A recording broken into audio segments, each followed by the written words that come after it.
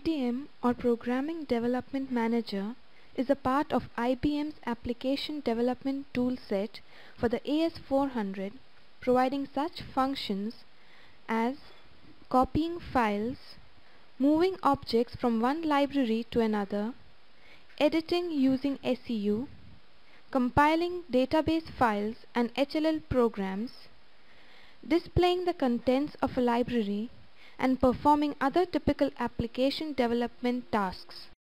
You can start a PDM session with one of these commands. Start PDM, work with libraries using PDM, work with objects using PDM, work with members using PDM. The start PDM command can be given from any AS400 command line and it displays the PDM main menu with these options. Option 1 is the same as the Work with Libraries PDM command. Option 2 is the same as Work with Objects PDM command. Option 3 is the same as Work with Members PDM command. Option 9 is for setting various PDM options. Select option 1 for working with libraries using PDM. On pressing the enter key, the specify libraries to work with screen is displayed and you enter APP star to work with libraries that begin with APP. You can enter any one of the special values for library name such as star ALL for all libraries, star LIBL for all libraries in the jobs library list, star ALL USR for all user libraries that is non-IBM libraries on the system, star USRLIBL for all libraries in the user portion of the jobs library list, star CURLIB for the current library. You can also type the command work with libraries PDM with APP star specified for the library parameter on any command line to display list of libraries starting with APP. On pressing enter key, the work with library screen will be displayed with the list type as APP star. The position to input field lets you position the list starting at a specified library. You can enter any option next to the library name to perform a particular function. Select option 2 from the PDM main menu and press the enter key to select the work with objects option. Here you can enter the library name, object name and type. When you press the enter key, the work with objects using PDM screen appears with a list of selected objects. The third option on the main PDM menu is working with members using PDM that lets you access file members. Select this option and press the enter key. The specify members to work with screen is displayed. Here you can enter the source file name, library name, member name and its type. Enter QDD for source file name, CUSLIB for library and CUSDEC98 for member name. On pressing the enter key, the work with members using PDM display is shown with a list of all specified members. Here you have a number of options for working with members such as to edit a member, to copy, rename and delete members etc. To add a new member to the file, you have the F6 function key. Pressing the F6 function key takes us to the SEU editing screen. The source entry utility, SEU, is an editor that lets you modify DDS, HLL, SQL and other source codes. You can also start SEU by typing start SEU on any AS400 command line. On pressing the enter key, you will be prompted for the source file name. library name and source member name. This brings us to the SEU editing screen. Now let us type in some code. On the extreme left side of the screen, you have the sequence numbers that are generated automatically by the system. To move a line, enter an M for move in the sequence number column of the line to be moved and then place an A for after on the line after which the line is to be moved and then press the enter key. As you can see, the sequence numbers are changed automatically after moving the line. You can also move lines to appear before a line by specifying B instead of A for the target location.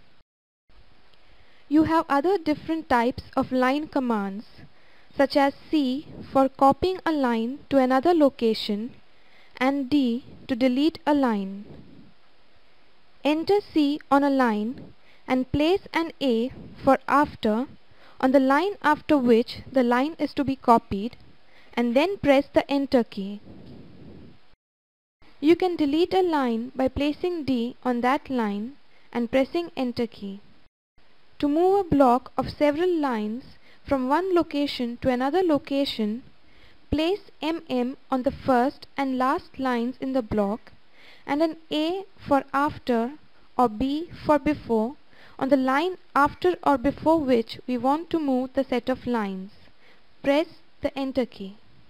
SEU moves all the lines between the two lines containing MM to the new location. Similarly, a block of several lines can be copied or deleted by using CC block or DD block respectively. The insert line command is used to add a new line. SEU inserts an empty line to enter the new source statement. To insert five lines after a particular line, enter I5 on the line after which the lines are to be inserted. SEU inserts five empty lines. Next, we move on to the SEU command line. The SEU command line is where you can enter various editing commands such as find, change, save, cancel and set. You include the search string in single quotes with the find command. Also, you can specify star ERR with the find command to find syntax errors in a compile listing spool file. You can use the change command to replace one string with another string. You can also include the all option with the change command to replace all matches in a single operation. The B or bottom command positions the source member so that the last line is displayed at the bottom of the editing area. You can use the T or top command to position the cursor to the first line of a source member.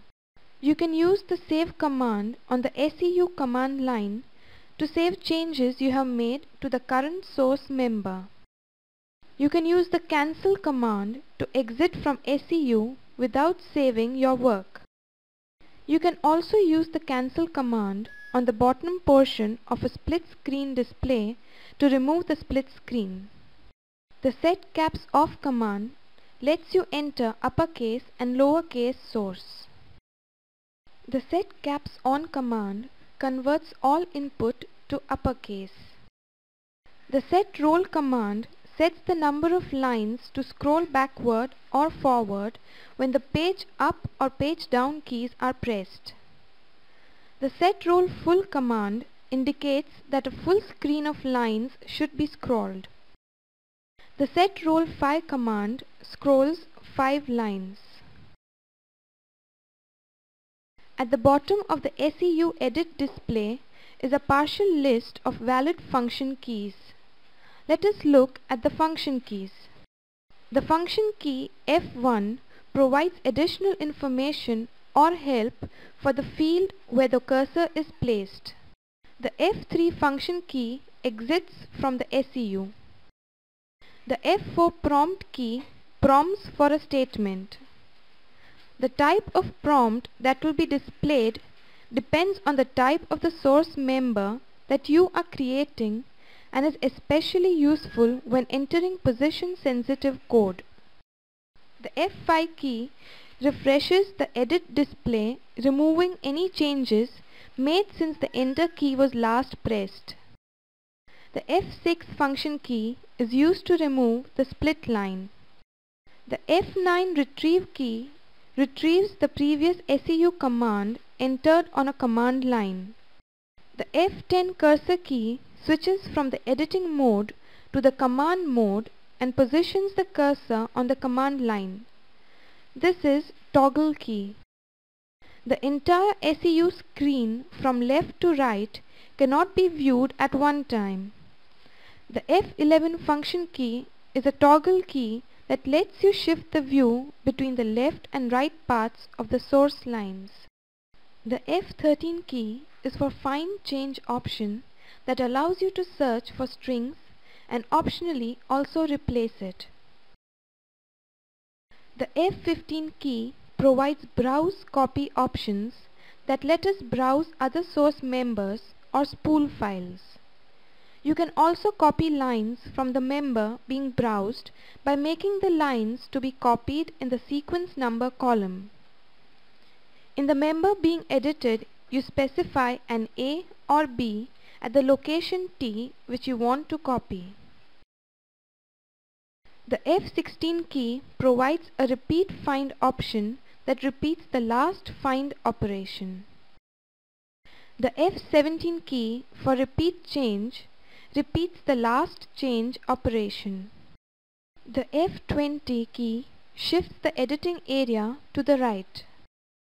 The F19 key shifts the editing area to the left. Let us now see how to save the changes and exit from SEU.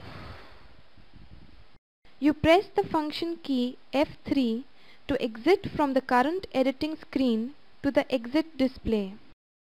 You enter a Y in the change create member option to save editing changes. This is the default. If you do not want to save the editing session, you can enter N here. You specify the member, file and library to which you want to save the member.